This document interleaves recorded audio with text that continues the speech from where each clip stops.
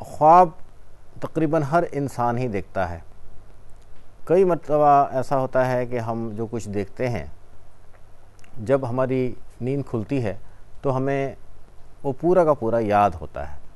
और कई मरतबा ऐसा होता है कि हम सोचते हैं कि रात को हमने कुछ देखा है। उसकी कुछ कड़ियाँ हमें याद होती हैं और कुछ कड़ियाँ हावजे से महव हो चुकी होती हैं या मिसिंग होती हैं। बाज़ लोग ये कहते हैं कि उनको तो ख्वाब नज़र ही नहीं आते, वो ख्वाब नहीं देखते। असल सूरत हाल कुछ ऐसी है कि ख्वाब तो हर शख्स देखता है। नींद के आलम में, जब वो गहरी नींद में होता है तो उसे कोई ना कोई ख्वाब ज़रूर नज़र आता है। लेकिन जो लोग ये कहते हैं कि उन्हें ख्वाब नज़र नहीं आते दर हकीकत उन्हें ख्वाब तो नज़र आते हैं, लेकिन वो उनके हाफजे में यादाश्त में वो महफूज नहीं होते। और वो ये समझते हैं कि उन्हें कोई ख्वाब नज़र कभी नहीं आया।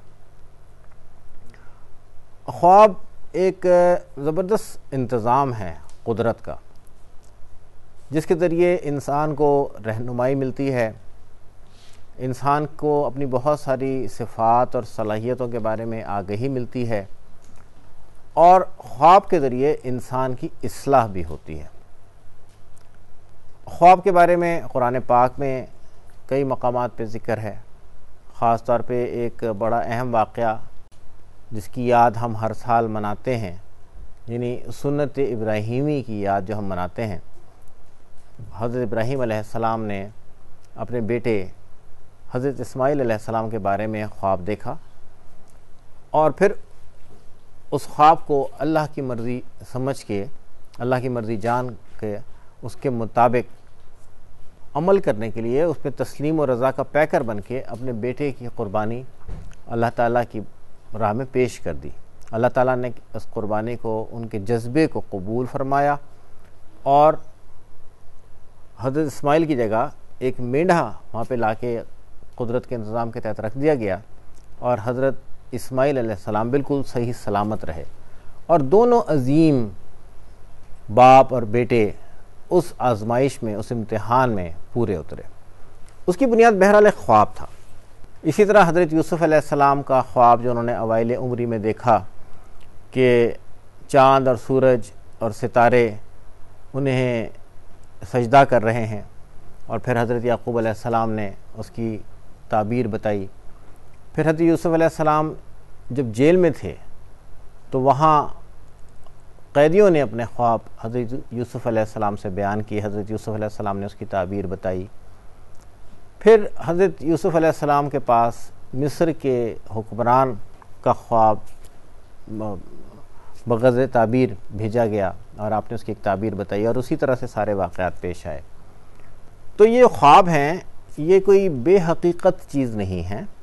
कुरान से और नबी करीम सलाम के इरशादात से इनकी अहमियत और इनकी हकीकत साबित शुदा है।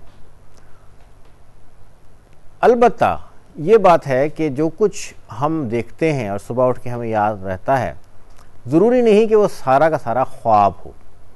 बाज़ अवत जहन में कुछ ऐसे ख्याल का हजूम होता है, जो दिन भर जहन उसमें उलझा रहता है या उसमें महव रहता है, उसमें परेशानी की कोई बात भी हो सकती है। और उसमें कोई एक्साइटमेंट वाली या खुशी की कोई बात भी हो सकती है। तो उस कैफियत को भी हम नींद में देखते हैं और उसको भी हम ख्वाब समझते हैं, लेकिन दरहकीकत वो ख्वाब नहीं होता।